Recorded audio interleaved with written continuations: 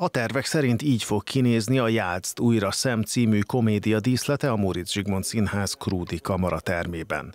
Woody Allen vígjátékát 1969-ben mutatták be New Yorkban, de a világhírt az 1972-es azonos című film adaptáció hozta el számára.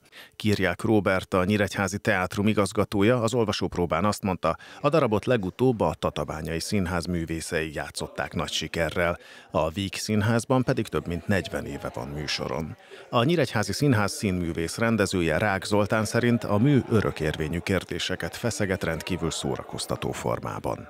Olyan témákkal foglalkozik, mint a férfi és nő közötti barátság, vagy, vagy mi van egy emberrel, amikor elhagyja őt a felesége, mihez nyúl, hogy éli túl. Ezek, ezek egy ilyen ezek fontos dolgok, mindig örökérvényi dolgok az ember életében, úgyhogy emiatt lett ez a darab kiválasztva, és hát nem sok Woody allen játsznak ám színpadon, talán ez a Jázd újra szem, ez, a, ez, ez van leginkább, és ezt eredetileg egyébként színpadra is tervezte, tehát ez a Broadway-n színdarabként működött, és akkor utána került ez, ez filmre. Úgyhogy talán ez az egyik leg mm, jobb színpadi munkája, vagy színpadra kész munkája, azok mellett, amiket írt, mert egy csomó mindent arra írt, és nem lett belőle film. A rendező hozzátette, mind az eredeti színdarab, mind pedig a filmadaptáció sikerében nagy szerepe volt a Woody Allen Diane Keaton kettősnek, akik egy ideig a valóságban is egy párt alkottak. Rák Zoltán szerint a nyíregyházi előadás egyik különlegességét is az adja, hogy a Nancy-t és Félixet alakító főszereplőket a magánéletben is erős szálak fűzik egymáshoz.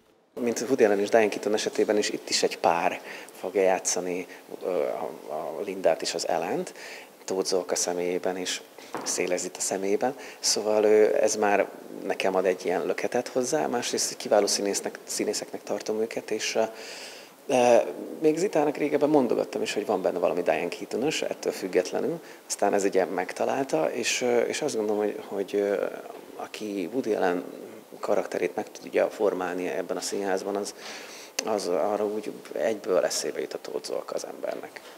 Tóth Zolka és Széles Zita mellett a színpadon Horváth László Attillát, Kosik Anitát, I. és Ákost és Nyári Diát láthatja a közönség. A díszletért Ondrasek Péter, a jelmezért Cselényi Nóra felel.